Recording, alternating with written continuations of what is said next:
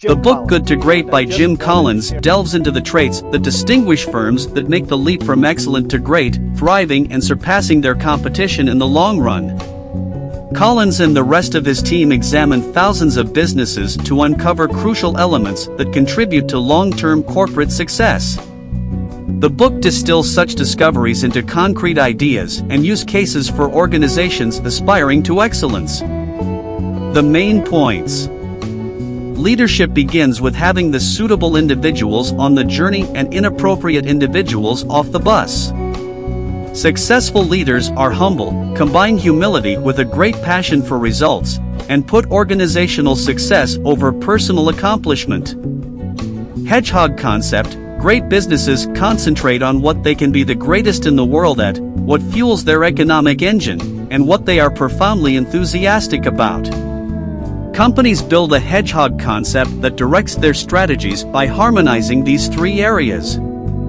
Discipline Great firms have a disciplined culture based on a consistent set of values and clear performance metrics. Discipline is the foundation that allows businesses to make reliable and targeted decisions. Technology accelerators Technology acts as a catalyst for enterprises on the route to greatness, but it is not a driver of greatness in and of itself. Successful businesses carefully apply technology, connecting it with their hedgehog concept and controlled culture.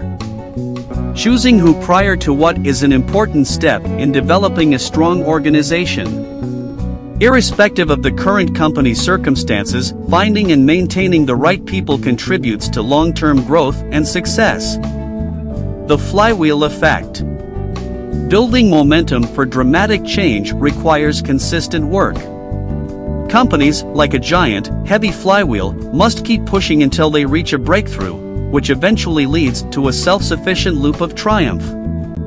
Leaders are modest, determined individuals who combine personal humility with professional will. They have the ability to focus their ambition into the organization's success and have the willingness to make tough choices for its benefit.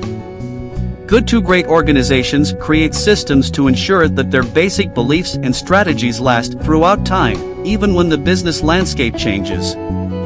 Management transitions, formalized development processes, and continuous feedback systems are examples of these methods. This overview offers a glance into Jim Collins' good to great major teachings and insights.